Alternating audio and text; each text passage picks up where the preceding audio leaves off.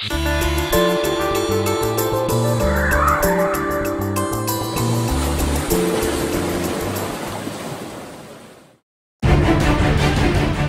América Latina y el Caribe han tenido avances en la expansión económica y en la consolidación de democracias en la región, en el rubro donde esta parte del mundo dejó atrás a otras regiones es en la violencia.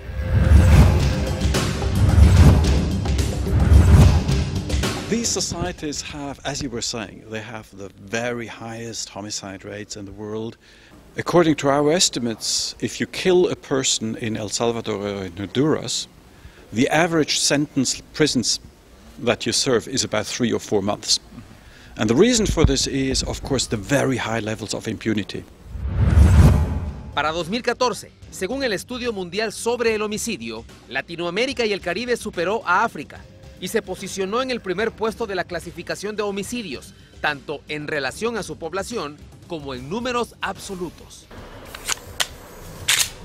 Y para asesinar, esta zona del mundo prefiere las armas de fuego. El 66% de los crímenes se cometen con pistolas o armas largas, muy por encima del 28% de África y Asia.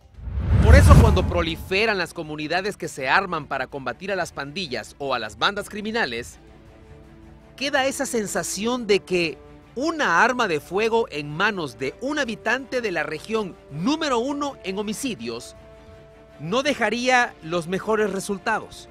Y esto genera debate. Esta gente se está armando no para crear grupos de exterminio o andar persiguiendo mareros, lo hacen como un mecanismo preventivo y de defensa por cualquier momento puedan ser eh, atacados o buscados por los mareros. Eso no está regulado en el país.